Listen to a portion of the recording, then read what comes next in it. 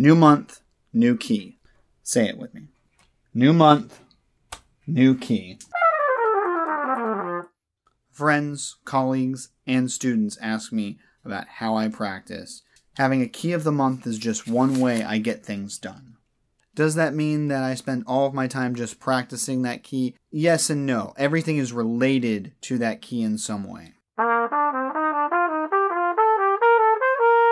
Have time to work on a chord progression? Why not do a 251 in that key?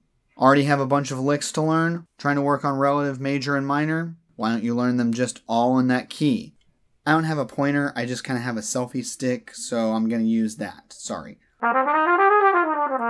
Today is March 3rd. These are on kind of like a two day delay because of my production cycle. It is the only Sunday I have free for the rest of the month.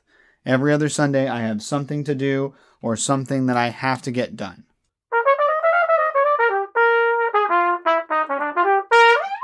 So, what am I doing today? I'm really going to sit down and start learning this key.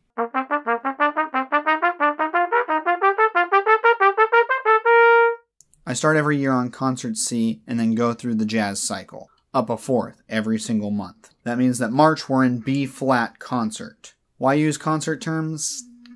Habit? You'll notice that I put a key next to every week as well. I'll get to that in a minute. Long tones. You have to do it. Technique. How about some scales? I used to be terrible at my scales. I knew all of them, but I didn't really know them as well as I thought I did. My second year at university, I almost failed a scale test, but I knew all my scales. Not the same thing as actually mastering them. What about those technical studies you learn in the books?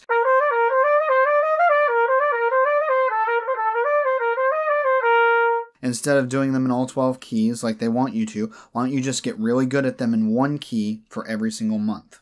Range. Kind of obvious. Okay, not really, but I can make it work. Every single day, I sight read in the key of the month. I'll probably video myself doing that later.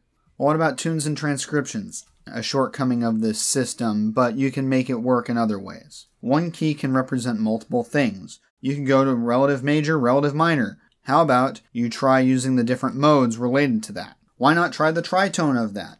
Why not do the dominant? Mixolydian? If I have extra time, I have a key of the week. That's just another way for me to keep myself engaged. Extra time to sight read, key of the week. Need more time on long tones, key of the week. How much time do you devote to it? The same amount of time you're going to devote to a warm up or just tone and technique, other things like that. This doesn't encompass everything that you practice, just the things that are fundamental and rudimentary. At some point, you're going to get really, really sick of this. So, what do you do? Get creative. Make yourself do this. The limitations beget creativity. Most of the time, our practice is just so surface level that you can't really dig in to what you need to get done. Some months are going to be easier than others. Everything relates to either that note, that key, however you want to look at it, and however it works for you. Maybe it doesn't work for you, but if you don't try, you'll never know.